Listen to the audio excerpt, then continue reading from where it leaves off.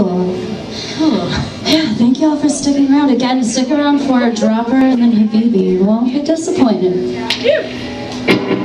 Wasting time? Yeah. So we have a few more. Hold on, I didn't even touch my. Oh, girl, get you some.